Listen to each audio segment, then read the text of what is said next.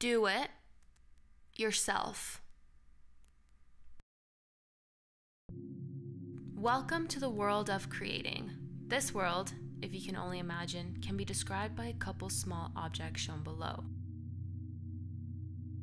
brushes,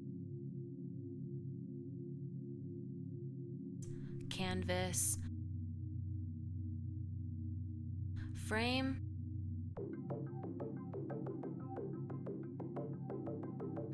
paint, in a palette. But what do all these objects have in common? They can be used separately, but if used together, it can allow a beautiful idea come to life. Now, for the technical, the framework of Do It. The frame is the resistance and support for the canvas. The canvas is the board of creation, freely open and up to our decisions.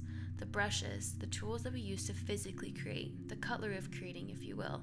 The paints, every color or one color may be chosen. This is the realm for you to explore. Why We Make by Teresa Dillon. In the reflection, it outlines three reasons as to why humans create. Simply, we love to make. Making makes us feel good.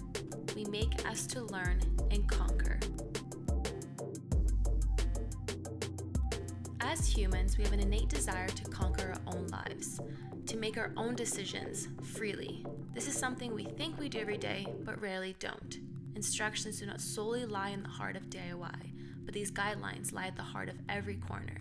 Instructions by society on how to dress, eat, act, look, smell.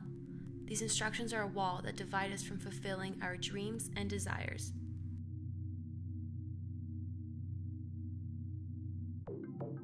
Now, for the poetic, the personal, the yourself.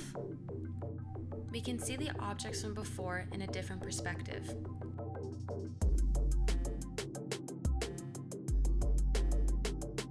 The frame is a support system, the people you depend and rely on. The canvas is the support for yourself, your physical body and mind, which we use to create in our everyday lives. The brushes is your creative output, the choices you make as a creator to construct whatever you desire. The paint is unique to everyone. Every person has a favorite color, texture, shade, but we use it all together to make something beautiful.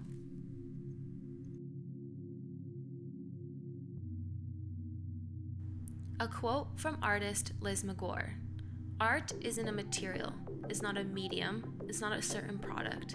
It is the choices I've been able to make.